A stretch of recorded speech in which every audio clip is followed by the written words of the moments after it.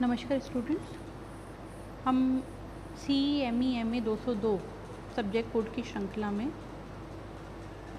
Fluid mechanics एवं machines के लिए हाइड्रोकाइनेटिक्स हाइड्रोकाइनेटिक्स पार्ट वन का अध्ययन कर चुके थे। इसके अंतर्गत हमने अब तक विभिन्न प्रकार की ऊर्जाएँ कितनी होती हैं, उनसे हेड्स किस प्रकार कन्वर्ट होते हैं, ऊर्जा और हेड आपस में कैसे रूपांतरित किए जा सकते हैं, बर्नौली की प्रमेय क्या है बर्नौली प्रमेय की एप्लीकेशंस क्या हैं? उनका अध्ययन हम कर रहे थे। तो इसमें हमने पिटो ट्यूब और वेंचुरी मीटर का अध्ययन तो कर लिया था।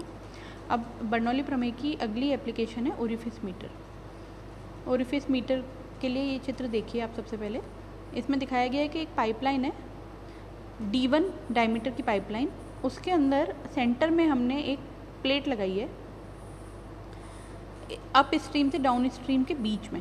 आप देख रहे हैं जहाँ पे बिंदु संख्या दो लिखकर डैश वाली लाइन लगी हुई है उससे जस्ट पहले एक प्लेट है। इस प्लेट के सेंटर में छिद्र है। इस प्लेट को हम ओरिफ्लिस प्लेट के नाम से जाने जा, जानते हैं। देखिए तीन बातें यहाँ पे उभर करके आती हैं।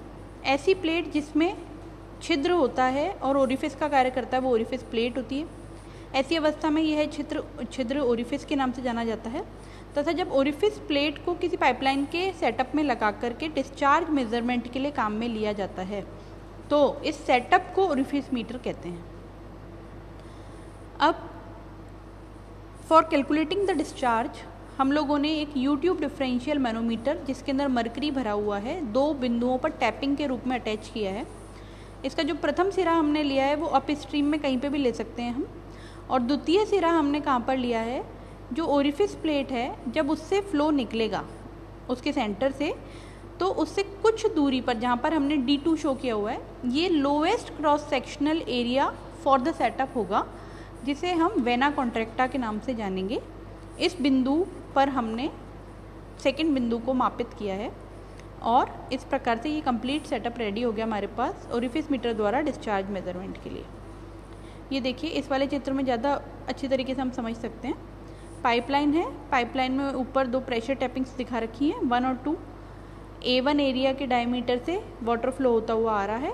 और वो ओरिफिस प्लेट आप देख रहे हैं ओरिफिस प्लेट के दो बेवल एंगल्स हैं, जहाँ पे ए नॉट शो किया हुआ है।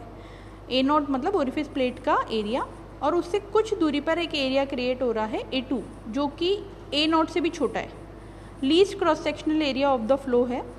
और उसको वेना कॉन्ट्रैक्टा के नाम से जानते हैं। तो इस प्रकार से हमारे पास इस पूरे सेटअप में तीन तरीके के एरियाज़ हैं। A one at entry section A nought at orifice plate section and A two the lowest cross sectional area of the flow अब हम इस सेटअप पर अप्लाई करेंगे बिंदु एक और दो के मध्य बर्नौली प्रमेय, क्योंकि ओरिफिस मीटर बर्नौली प्रमेय पर आधारित है।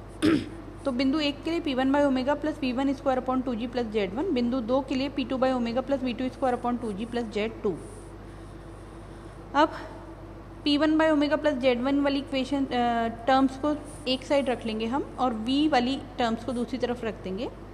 V two square minus V one square upon two G को क्यूमुलेटिव रूप से हम एच के बराबर रख देंगे हेड डिफरेंस के। तो इस प्रकार से फाइनल इक्वेशन हमारे पास आएगी V two square minus V one square upon two G बराबर एच या इसको सामान्य शब्दों में कह सकते हैं V two square minus V one square बराबर टू जी एच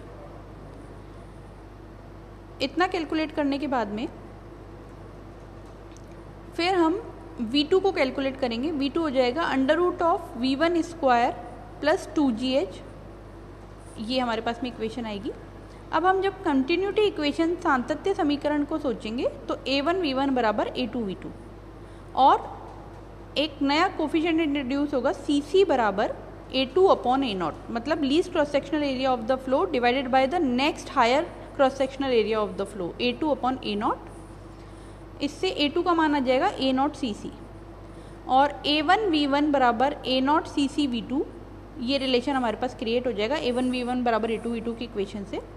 और वी वन बराबर A nought upon A one V two C C ये वैल्यू उठा के हम पुट कर देंगे ऊपर वाली इक्वेशन में, जिसमें वी टू का मान था V one square plus two G H under root इसमें पुट करने के बाद में, यहाँ पर हमारे पास जो वेलोसिटी है, ये जो वेलोसिटी की इक्वेशन बनी है, ये बेसिकली थियोरिटिकल वेलोसिटी की इक्वेशन है। हम इसको एक्चुअल वेलोसिटी की इक्वेशन में कन्वर्ट करने के लिए सी वी से कोफिशेंट ऑफ़ वेलोसिटी से मल्टीप्लाई कर देंगे।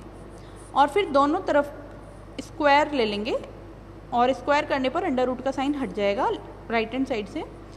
अब इसको सॉल्व करेंगे हम। तो सॉल्व करने पर V2 वाली टर्म्स के लिए वैल्यू कैलकुलेट करेंगे। वैल्यू कैलकुलेट होकर आ जाएगी। अब इसमें जहाँ जहाँ पर सी और सी का मल्टीप्लिकेशन लिखा हुआ है, उसको सम्मिलित रूप से C D coefficient of discharge रख देंगे। और इस प्रकार से हमारे पास वी टू का फाइनल मान आ जाएगा। इस वी टू के फाइनल मान को ए टू से मल्टीप्लाई करने पर A two V two A two V two सम्मिलित रूप से क्यू मतलब निस्सरण या डिस्चार्ज को रिप्रेजेंट करेंगे। तो हमारे पास वैल्यू आएगी क्यू बराबर A nought C C C V under root two G H divided by one minus A nought square upon A one square C D square ठीक है? ये वैल्यू हमारे पास में आ जाएगी। अब हम कुछ इसमें देखें क्या महत्वपूर्ण परिणाम आएँगे ओरिफिस मीटर के। यह भी वेंचुरी की तरह दाबंतर के सिद्धांत पर कार्य करता है। ये एक तरह की प्लेट होती है ओरिफिस अर्थ, ओरिफिस का अर्थ छिद्र होता है। इसके केंद्र में पाइप के संकेंद्रीय एक छिद्र होता है, बिल्कुल ठीक है। प्लेट की मोटाई पाइप के व्यास की पॉइंट ज़ीरो फाइव गुना होती है। इसमें जो बेवल एंगल होता है वो thirty two, forty five degree होता है तथा विभिन्न कंसीडरेशन डी वन के रेस्पेक्ट में लिए जाते हैं। इस प्रकार से वेंचुरी मीटर द्वारा हमने यहाँ पर डिस्चार्ज का मान ज्ञात। अब इसी श्रृंखला में हम आगे देखेंगे कि ये चैप्टर की थ्योरी हमारी कंप्लीट हो चुकी है। अब हम वेंचुरी मीटर संबंधी कुछ न्यूमेरिकल्स देखेंगे। इसमें देखिए आप सबसे पहले, एक वेंचुरी मीटर है जिसका मापन है 40 into twenty centimetre square mercury manometer लगा है इसमें मतलब जो डिफरेंशियल मैनोमीटर है उसमें मरकरी भरा हुआ है और उसकी रीडिंग 25 सेंटीमीटर है मतलब एच का मान है एच डैश का मान 25 centimetre coefficient of meter is point nine eight and the constant also find the constant of meter जो मीटर का कोफिशियंट है, उसकी वैल्यू पॉइंट नाइन एट है तो अभी हम देखेंगे कि मीटर का कोफिशियंट क्या होता है। और फिर कॉन्स्टेंट ऑफ़ मीटर हमको कैलकुलेट करना है। तो ये देखिए फॉर्मूला है हमारे पास क्यू बराबर C D A one A two under root of A one square minus A two square under root two G H इसमें ए वन का मान निकालेंगे हम pi by four D one square से और ए टू का मान pi by four D two square से। मीटर के अंदर निकालेंगे मीटर स्क्वायर के अंदर। और ये एक फार्मूला है एच बराबर H dash S M upon S F minus one इसमें जो एस एम है वो मरकरी की स्पेसिफिक ग्रेविटी है और एस एफ़ है वो फ्लूड की स्पेसिफिक ग्रेविटी है, इसका रेशियो माइनस वन इसको लेकर के एच का मान भी कैलकुलेट कर लेंगे in terms of metre of water में. अब जो हमारे पास में एक कांस्टेंट बनेगा के बराबर A one A two under root of A one square minus A two square under root two g इसमें ए वन ए टू की वैल्यू हमने ऊपर कैलकुलेट की है pi by four D one square D two square से, उसको रख देंगे। ये फैक्टर हमारे पास वेंचुरी मीटर का कांस्टेंट कहलाएगा या वेंचुरी मीटर अचर के नाम से जाना जाएगा। अब final formula of discharge calculation में Q बराबर सी डी के under root two G H को सॉल्व अंडर रूट एच ये रखेंगे हम। तो सी डी के अंडर रूट एच इस वैल्यू को सॉल्व करने पर हमारे पास मीटर क्यूब पर सेकेंड में Q का मान कैलकुलेट होके आ जाएगा। इसको लीटर प्रति सेकंड में यदि हम कन्वर्ट करना चाहते हैं तो एक हज़ार से मल्टीप्लाई कर देंगे। तो लीटर प्रति सेकंड में हो जाएगा ये हमारे पास। नेक्स्ट न्यूमेरिकल है, जिसमें वेंचुरी मीटर का size 150 fifty into seventy M है और 150 फिफ्टी mm वाले पाइप के अंदर 0.9 स्पेसिफिक ग्रेविटी का फ्लूड फ्लो हो रहा है। मरकरी का डिफरेंशियल मैनोमीटर लगा हुआ है और हमें इसका डिस्चार्ज कैलकुलेट करना है। इसके लिए देखिए।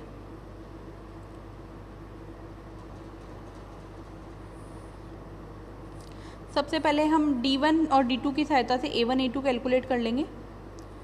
फिर सी डी हमें पॉइंट नाइन सेवन दिया गया है, नहीं दिया गया है तो हम अज्यूम कर लेंगे। और एच डैश हमें one seventy five M M of mercury दिया गया है, इसकी सहायता से हम एच का कैलकुलेशन करेंगे। तो ए वन आएगा point zero one seven six metre square A two आएगा point zero zero four four one metre square और एच का मान आएगा two point four nine metre फिर इस सभी फॉर्मूले हम डिस्चार्ज के इक्वेशन में रख देंगे और उससे कैलकुलेट होने पर क्यू का मान हमें प्राप्त होगा point zero three zero seven one metre cube पर सेकेंड इसको जब हम थाउज़ेंड से मल्टीप्लाई कर देंगे तो हमारे पास लीटर प्रति सेकेंड में डिस्चार्ज का मान आ जाएगा. इस प्रकार से ये दो न्यूमेरिकल हैं। इस हमारे वीडियो लेक्चर में इतना ही। धन्यवाद।